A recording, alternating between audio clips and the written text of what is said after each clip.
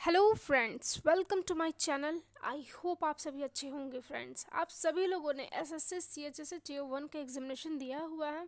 साथ ही साथ आपका आंसर की भी आ चुका है। और अब आप हम लोग बात करने वाले हैं कि आफ्टर आंसर की हमारा कट ऑफ़ क्या होगा नॉर्मलाइजेशन में मार्क्स हमारे कितने बढ़ सकते हैं फ्रेंड्स ये बहुत ज़्यादा मैटर करता है कि नॉर्मलाइजेशन मार्क्स आपके कितने बढ़ रहे हैं। तो नॉर्मलाइजेशन मार्क्स को ऐड करके हम लोग बात करने वाले हैं कैटेगरी वाइज कट ऑफ़ तो आप लोग ध्यान से सुनिएगा, आप लोग जिस भी कैटेगरी में हैं तो आप लोग देख लीजिएगा कि उस कैटेगरी में आपको कट ऑफ़ कितना से कितना होने वाला है फ्रेंड्स तो चलिए वीडियो को शुरू करते हैं। सबसे पहले हम लोग यू आर कैटेगरी में कट ऑफ़ की अगर हम लोग बात करते हैं तो 135 टू 140 के बीच में आपके कट ऑफ़ रहेंगे। वही बात करते हैं ई डब्ल्यू एस कैटेगरी का जो हमारा कट ऑफ़ होगा, वो 130 टू 135 के बीच में कट ऑफ़ रहेंगे। ओ बी सी कैटेगरी का जो कट ऑफ़ होगा, वो 125 टू 130 के बीच में आपके कट ऑफ़ रहेंगे।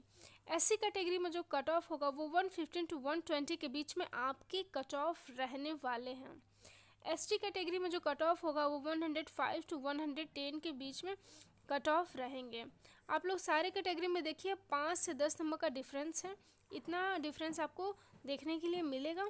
हम लोग बात करते हैं अब कि आपके जो भी आंसर की में आपका जितना मार्क्स आपके सही हो रहे हैं उससे आप 15 टू 20 मार्क्स आप अपने प्लस रखिए, क्योंकि नॉर्मलाइजेशन में 15 टू 20 मार्क्स आपके बढ़ते ही हैं।